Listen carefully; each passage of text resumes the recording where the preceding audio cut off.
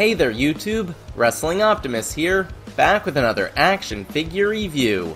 It's Wednesday night, and you know what that means. Time for AEW Dynamite on TNT. More specifically, it's Fight for the Fallen, the last of four consecutive special episodes to celebrate the return of live crowds. Yet again, the card is absolutely stacked, and there's bound to be a few surprises, so I'm excited. But first, if you're new here, make sure to like the video and subscribe to the channel for more pro wrestling and action figure content. Now, we're headed into my custom arena, so for a recap and review, let's take it over to the action figures.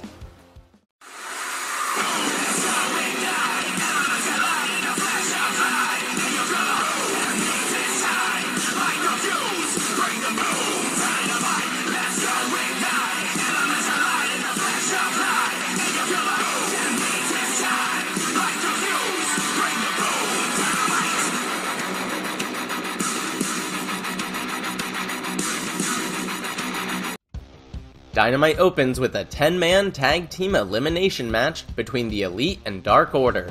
Both teams get incredibly elaborate entrances, including a vignette where the Dark Order unleash their inner cowboys, and the Elite coming out dressed as the Toon Squad from Space Jam in another perfect example of corporate synergy.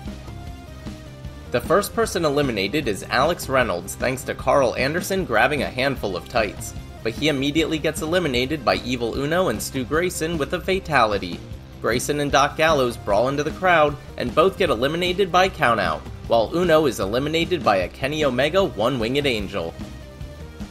In a very interesting spot, the Bucks utilize a basketball net at ringside to do a combination slam dunk Indytaker on John Silver, except the ball bounces off the rim, leading to chants of, You still missed! You still missed! Regardless, they eliminate Silver with a BTE trigger, leaving Hangman Page outnumbered 3 to 1. After absorbing a super kick party, Page manages to hit a double buckshot lariat and simultaneously eliminate both Young Bucks. Predictably, it all comes down to Omega and Hangman.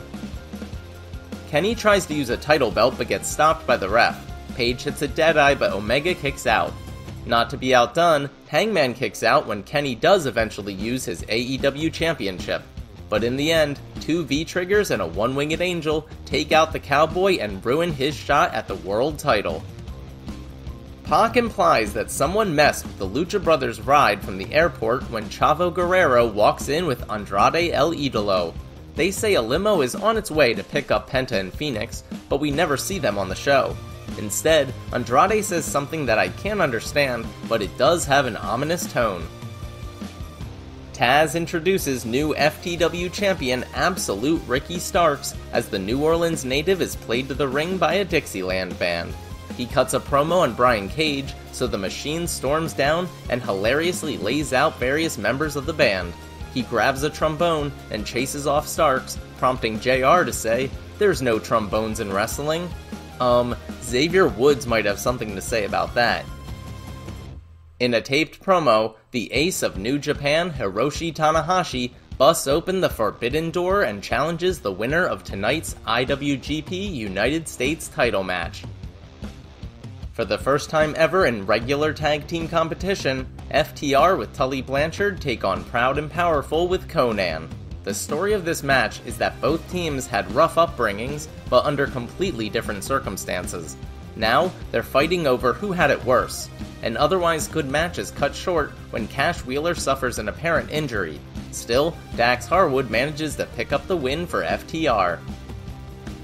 Tony Schiavone interviews Dr. Britt Baker, DMD, after she tapped out Nyla Rose last week with a broken freaking arm. She says everyone is gunning for her title and hints that she might have to bring in someone else to help Reba protect her. After it's announced that the first episode of Rampage will air from the United Center in Chicago, Darby Allin and Sting confirm that they'll be there and say AEW is where you come to prove that you're the greatest, even if you already think that you're the best in the world. The crowd goes nuts for this obvious reference to CM Punk. Oh my gosh, it's happening! Next up, the IWGP United States title is once again on the line as new champion Lance Archer defends against Bullet Club's own Hikuleo, accompanied by his legendary father King Haku. As you'd expect, this is a classic New Japan style hoss fight, with the big men exchanging huge strikes and power moves. But even after Haku interferes using the Tongan Death Grip, Archer is able to get the giant up and nail a blackout to retain. Cody Rhodes is sitting with Tony Khan in gorilla position when he's ambushed by Malakai Black. They fight onto the stage where Malakai stands tall, saying, Welcome to the House of Black. When a group of wrestlers come to Cody's aid, Malakai lays out Fuego del Sol with a spinning back heel kick. TNT champion Miro cuts a promo saying no one wants to face him, so he's calling out Lee Johnson. Strangely, he claims only two things motivate him a vengeful god and his double jointed wife. The Redeemer finishes by saying Big Shotty's glorious reckoning is upon him. Private Party and Angelico of the Hardy family office take on Jurassic Express and Christian Cage. Early on, Marko Stunt chases Matt Hardy to the back. Although Jungle Boy does most of the work, Luchasaurus does hit a triple suplex on the entire opposing team. Christian follows up a chokeslam with a frog splash on Marq Quen to secure the victory.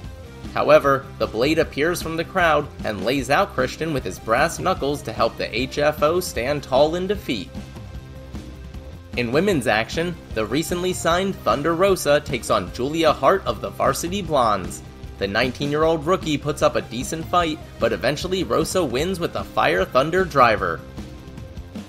Jon Moxley is pissed that seemingly every top New Japan wrestler avoided him during the pandemic. But the second he lost his US title, suddenly Tanahashi wants a shot. So now the ace is dead to him, while Mox essentially challenges the rest of New Japan in order to see who answers the call. MJF joins commentary for our main event as the Deathmatch King Nick Gage takes on Chris Jericho's Painmaker persona in his second labor. Remember, no one from the inner circle can help Jericho, or the deal's off. Early on, Jericho counters some light tubes with Floyd the Bat, but Nick Gage gets out the pizza cutter and slices open Jericho's forehead. Then, he sets a pane of glass between two chairs, but ends up going through it himself. When Gage tries to use some light tubes again, Jericho reverses into a Judas effect for the win. Afterwards, MJF comes down, and after playing a clip from one of their earlier verbal exchanges, he reveals that for Jericho's next labor, he'll have to hit a top rope move against his old WCW foe, Juventud Guerrera. I heard some people were down on this show, but I thought it was another home run. The live crowds remain electric. The in ring action was great, although it did feel short at times and AEW continues to pay off long term storylines while simultaneously building up new ones to take their place. Most impressively, despite an ever expanding roster, AEW somehow fits most of their people into two hours of TV per week. Can you imagine what they'll be able to do once Rampage debuts? The good times are just getting started. Alright, that'll do it for AEW Fight for the Fallen. Thanks so much for watching, let me know what you thought in the comments down below. I might do an unboxing this weekend, otherwise I'll be back next Thursday with another action figure review. If you enjoyed this video, make sure to do all that normal YouTube stuff. Smash the like button, share with any wrestling or action figure fans you may know, subscribe to the channel, and spread the word. You can also talk to me over on Twitter at WrestlingOptimus, or see all my best figure photography over on Instagram at WrestlingOptimus. If you haven't seen my review of Fyter Fest Night 2, you can check that out right here. But until next time, I've been Wrestling Optimus, and I'll catch you later.